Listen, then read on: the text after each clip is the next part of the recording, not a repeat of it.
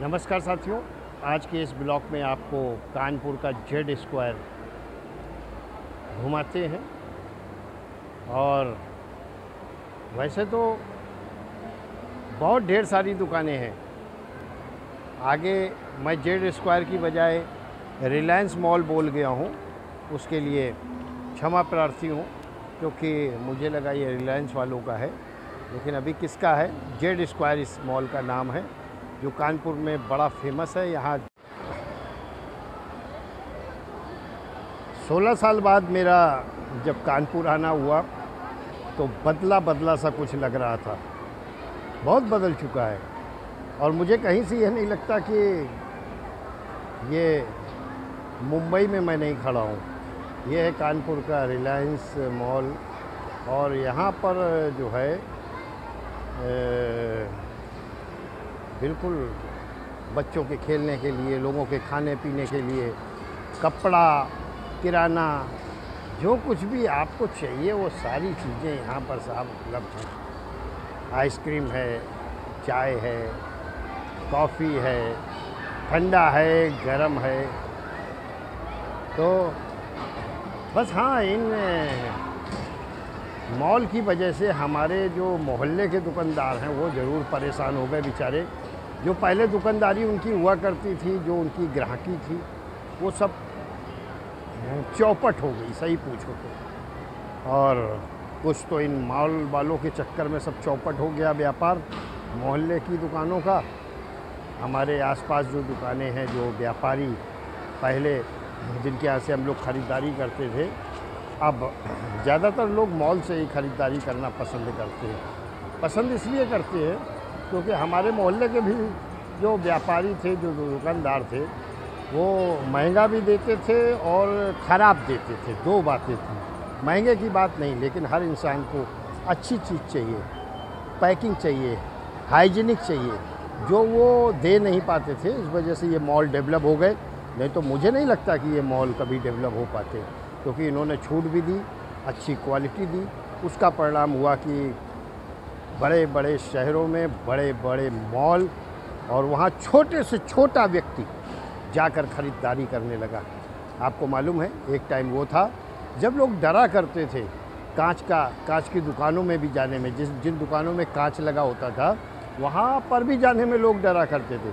लेकिन आज ये बड़े बड़े भारी भरकम चार चार, पाँच पाँच मंजिल के मॉल, यहाँ एक गरीब से गरीब आदमी और अमीर से अमीर आदमी आकर ख़रीदारी करता है। ये सारी चीज़ें हैं जिन्होंने कहीं पर व्यापार को नुकसान दिया है तो कहीं पर आम पब्लिक को तो ज़रूर इनसे फ़ायदा हुआ, क्योंकि जब वे ख़रीदारी करते करने को आते भी हैं तो इन्हें छूट के साथ साथ यहाँ पर बच्चों के खेलने का बहुत इंतज़ाम है।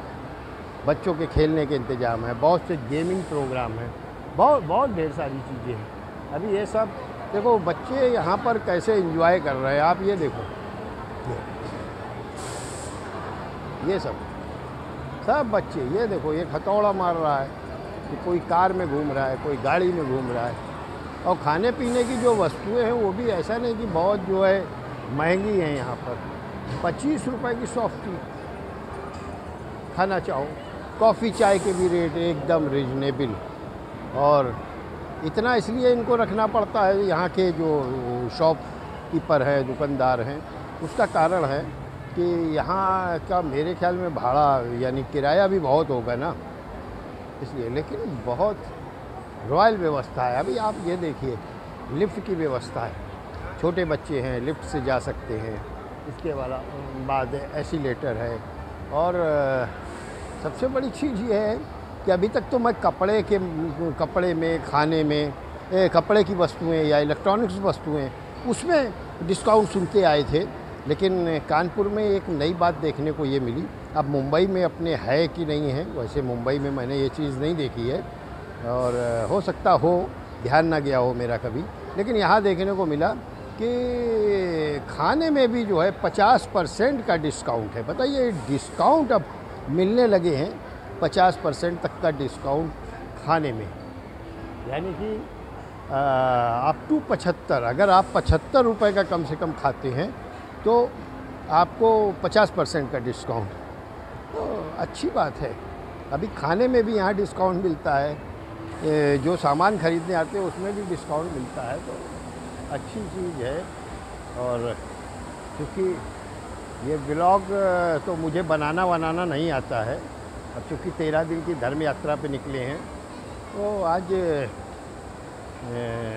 यहाँ पर आने का अवसर मिला। तो मैंने कहा, चलो, चलते हैं। मुझे सभी अपने लोग आज यहाँ पर लेकर आए और अच्छा भी लगता है। क्यों? क्योंकि जो डेवलप सिटी हैं, वहाँ पर घूमना, वहाँ के वातावरण को समझना, मुझे तो बहुत अच्छा लगता है।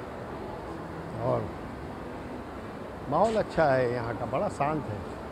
शांत का मतलब ये है कि कानपुर जैसी जगह में इतने सब शांति के साथ चल रहा है।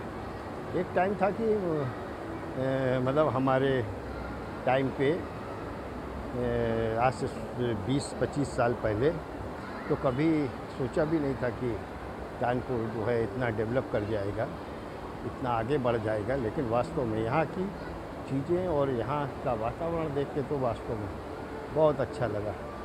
तो अब देखते हैं। अब कल का है प्रोग्राम वृंदावन निकलने का तो वहाँ के भी आपको दर्शन कराएँगे वहाँ। और इसके बाद घूमना फिरना हो गया। अब गंतव्य स्थान पर प्रस्थान करेंगे और अगली वीडियो में फिर एक नए ब्लॉग के साथ नई जगह की जानकारी देते हुए, क्योंकि कानपुर आए हैं तो कानपुर में बहुत सी ऐसी चीज़ें हैं जो बड़ी फ़ेमस है, जैसे यहाँ का जे के मंदिर, यहाँ का ठग्गू के लड्डू, है ना? वो माल रोड की कुल्फ़ी, ये सब और मोती झील तो ये सारी चीज़ें भी आपको अगले ब्लॉक में दिखाएँगे।